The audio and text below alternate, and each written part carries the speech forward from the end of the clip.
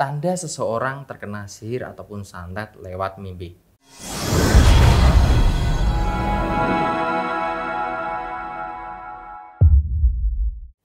Assalamualaikum warahmatullahi wabarakatuh dan salam sejahtera buat kita semua. Semoga kita selalu mendapatkan rahmat dan keberkahan dari Allah. Amin.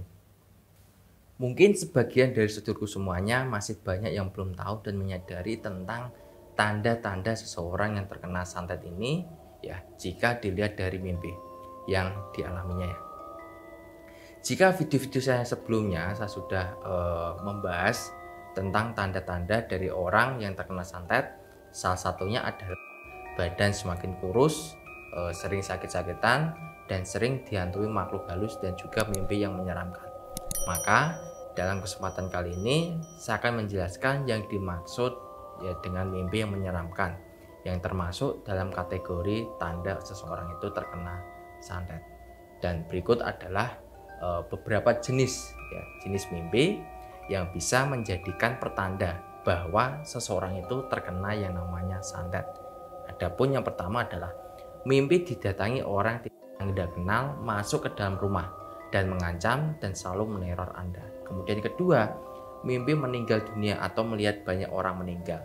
Kemudian ketiga, mimpi bencana alam dan wabah penyakit. Kemudian yang keempat, mimpi anggota keluarga atau dirinya sendiri sakit parah.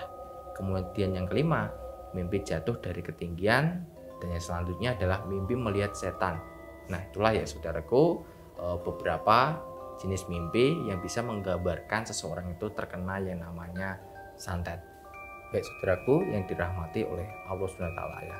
Eh, saya rasa cukup dari pembahasan kali ini. Semoga dalam pembahasan kali ini semakin memberikan kita kewaspadaan dan lebih berhati-hati dan meningkatkan iman dan ketakwaan kita kepada Allah. Supaya apa? Supaya kita terhindar dari yang namanya keburukan terutama dari yang namanya santet ini.